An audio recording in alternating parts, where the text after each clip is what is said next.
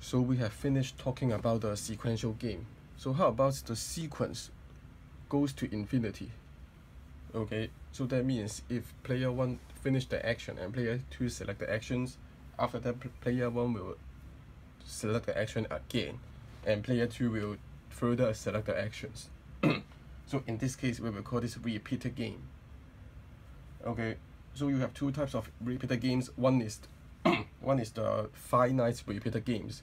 So in solving the finite repeated games, you just need to use the backward inductions. So this is similar to the sequential game. But how about the in infinite repeated games? That means the selection process goes to infinity. So say you have a prisoner dilemma. This is player one, player two. Okay. So they can select all the time. As you can see that if they cooperate, so they can earn a higher utility. So will they cooperate or deviate from from the best situation? So it depends on the discount factor in various periods.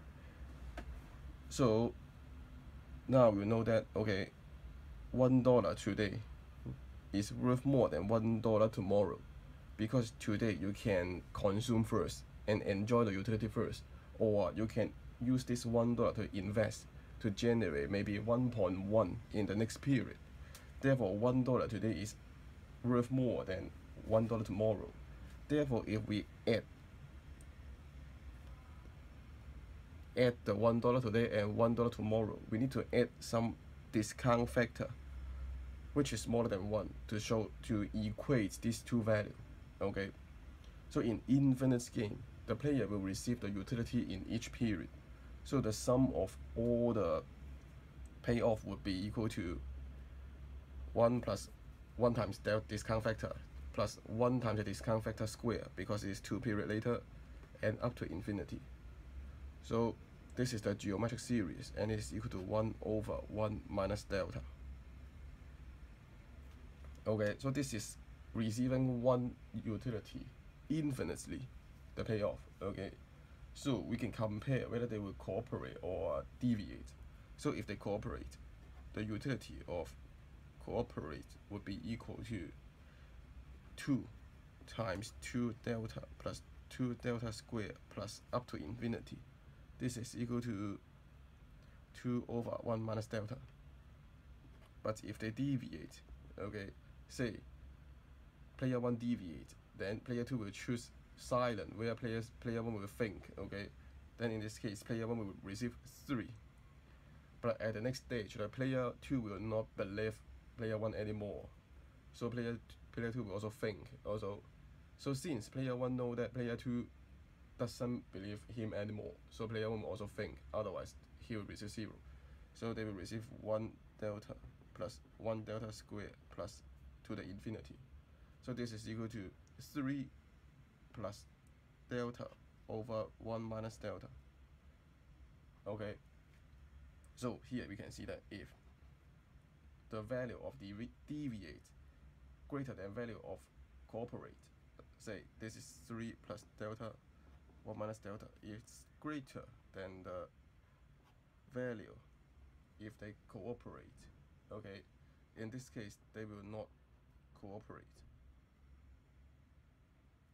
So by solving this, you can calculate delta is smaller than one half. So if delta is smaller than one half, then they will not they, they will not cooperate. Okay. So in the real world, one of the uh, popular discount factor is the interest rate. So if the interest rate is higher, then the discount factor will be low.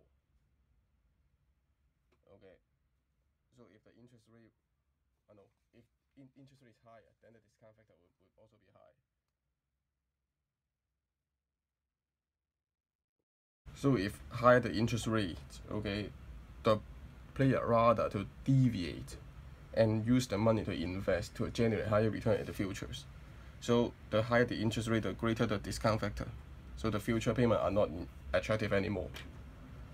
Okay, so we finished the repeated games. Let's go to some advanced concept in the game theory. So the first one is called a simultaneous Bayesian game. So for the term Bayesian, it means we add some probability concept here. Okay, so simultaneous mean they will do the action simultaneously, while there are some uncertainty here. Okay, say in this simultaneous Bayesian games, player one would know the type of the strategies, and player two will never knows what is the type. Say in the poker games, when you select a poker, so you know the type, while the other people won't know what's your type. Okay, so your action depends on the type, your type. Okay, your action depends on what, which card you get, and player two actions, the other people's actions will also depends on your strategies. So, okay, here. There are k possibilities, okay, and in the set of t, there may be t1 up to tk, okay. Say there are t number of cards you will select, and player who don't don't know your card, so they will so they will put the probability of TK to guess which type of card you get. Okay, so therefore in a card game, your utility is a function of the strategies given your type and other people's strategy as to and actually which type you are. And for you too, the payoff would be his strategies and the strategy of the first player, while the strategy of the first player is the function of the type, uh, also the type. Okay.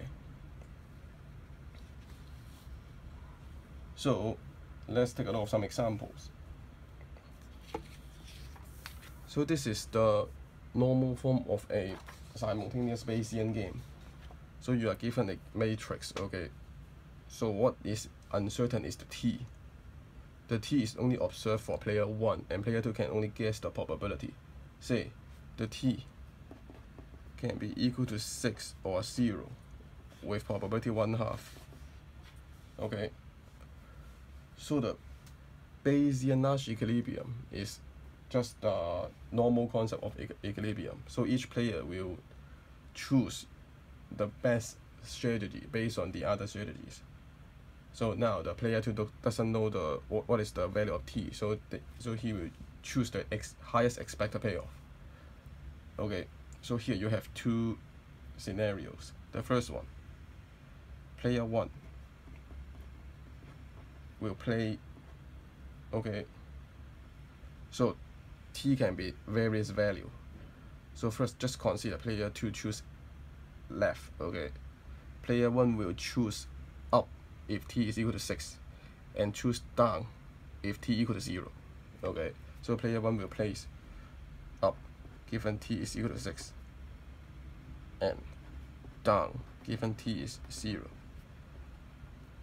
and player 2 will place left okay and if player 2 plays the right player 1 will choose down no matter what is the value of t.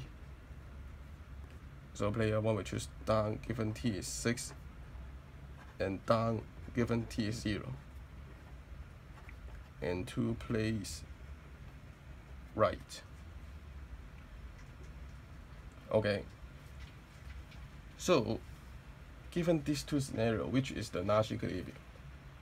So okay the first one will not be the Nash equilibrium because in this case if the player 2 choose L okay then the expected payoff would be the average of 2 and 0 that is 1 but the expected payoff of playing right is 2 because they are 0 and 4 therefore the first one will not be the Nash equilibrium. The Nash equilibrium will only be the second one. Okay so this is how you solve the Bayesian Nash equilibrium. So let's take a look of some more examples. So actually the tragedy of the commons can be distilled into the Bayesian Nash equilibrium. Okay, so first assume that the player 1 has this type of values, which is known for player 1 but unknown for player 2 okay so player 2 will still have the utility that 1 to O minus Q1 plus Q2 as our examples okay and this is the probability of player 2's belief. So here player 1 will first maximize the utility. So this is equal to Q1 times T minus Q1 minus Q2 so if you do the first order condition you will get T minus 2Q1 minus Q2 equal to 0 then Q1 is equal to 65 minus 1 half of Q2 or Q1 is equal to 50 minus 1 half of Q2 so if so this is generated by if T is 130 so I put it as Q1H stand for high. This Q1L okay when T is equal to 100 then at player 2 perspectives. Okay again player 2 is trying to maximize the highest expected payoff. So this is equal to 2 third times q2 times the value. So this is the value times the probability 2 third of player 1 choose h plus 1 third times q2 1 2 minus q1l minus q2 okay. Then this is equal to q2 times 1 2 o minus q1 bar minus q2 whereas q1 bar is equal to the 2 third of q1h plus 1 third of q1l okay. Then you solving it you will get q2 star is equal to 40 as a result, Q1H star is equal to 45 and Q1L star is equal to 30. So it depends on which type the player 1 will get, okay? And player 2 will choose 40 such that this is the maximum of the expected value of these two. So this is how you model the Bayesian simultaneous game.